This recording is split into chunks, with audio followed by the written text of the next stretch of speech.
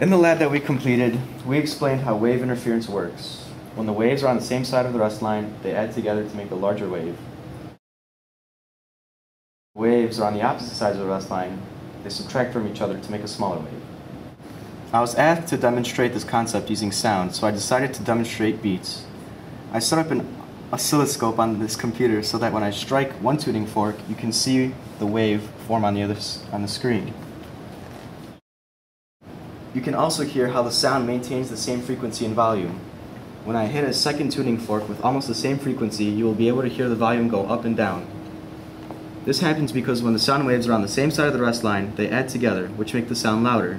And when they are, the, when they are on the opposite sides of the rest line, they subtract to make the sound softer. You can see the combined wave on the oscilloscope. Ready? Mm -hmm.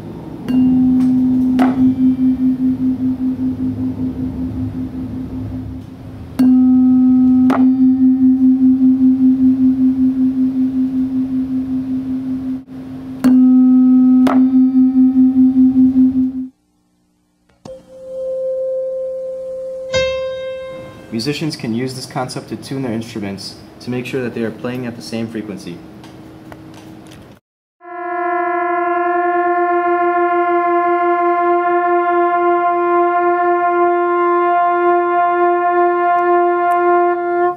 Alright, so what am I doing is he's sharp because it's all the way in and I'm flat because it's all the way out and basically all I do is to match the pitch as he's playing I push in the tuning side so, so it's going from flat to sharp and eventually matching with his pitch.